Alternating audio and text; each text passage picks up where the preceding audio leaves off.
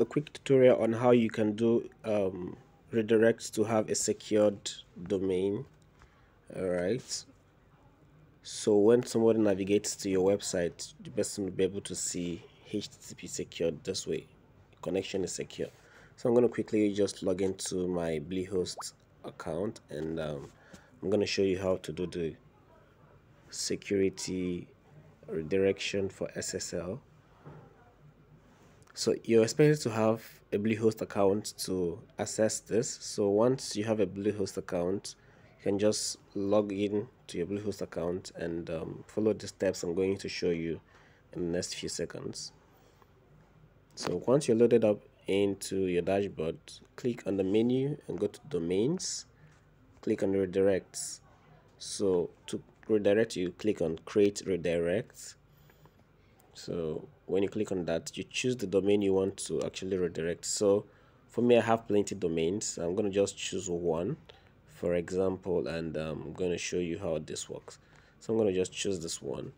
And um, the next thing I'll have to do here is to put the same website address. So use.com ng that way. So once I'm done this is the major difference. I'm adding HTTPS in front this. Like this. I'm adding this in front of it instead of the normal HTTP okay so once you do this next thing you want to do is to turn on wildcard redirect.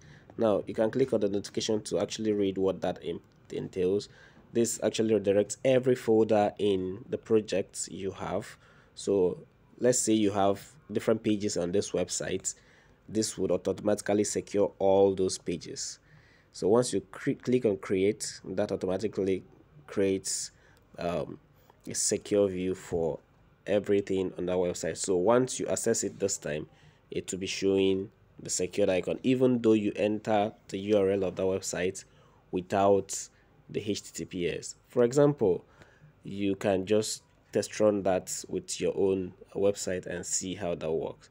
Now if you just bought a new domain or new hosting it will take some time to propagate for you to be able to do this redirect. So just allow it for some days two to five days before performing this redirect.